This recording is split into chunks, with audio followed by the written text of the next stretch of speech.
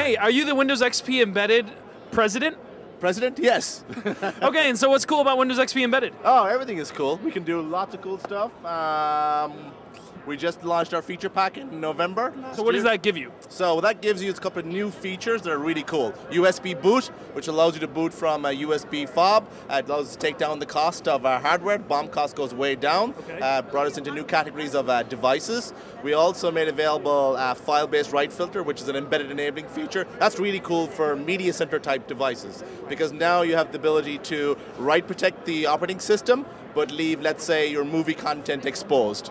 Okay. And, and for users, that saves the operating system. It doesn't get corrupted, but you also but you want to be able to change your photos. You want to be able to update your music, so it allows that type of class of device. Now, when I hear the term Windows XP embedded, I think, didn't Microsoft just release Windows Vista? Are you bringing any of the technologies in Vista to XP embedded? Yeah, we are. Um, we're basically right now uh, looking at how we can do that. So we have we've got a, the feedback from the OEMs. They've ranked the top features they want, and the features that we're bringing are IE7. Okay. Uh, Windows Media Player 11, Okay. the .NET framework, which gives you Windows presentation, Windows communication framework, Avalon Indigo code names, and finally RDP 6.0. So cool. the key the key technologies connect to the server backend from Longhorn launches, plus the visual key visual ones from uh, Vista as well. Very cool. Well, Yeah, thanks, John. no problem. Appreciate it. Thanks. Take care.